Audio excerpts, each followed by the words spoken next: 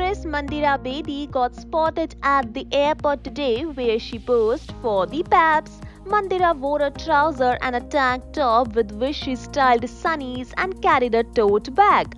Former South African international cricketer AB de Villiers also got papped at the airport with his family while making a return back to city Mumbai. He wore shorts, tee, sunglasses and a baseball cap.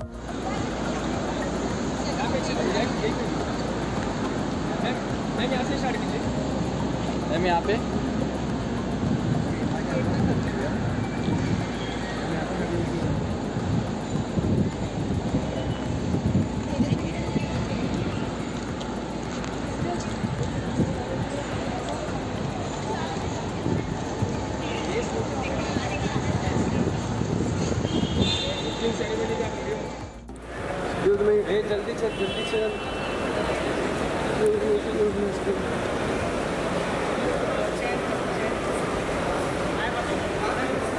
Sir this side this side मागे बघ मागे this side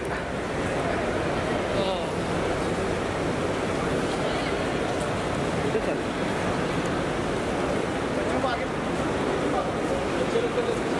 बच्चों को घेतला मी घेतला। भेटवत तर यायचं गाडीवर बसली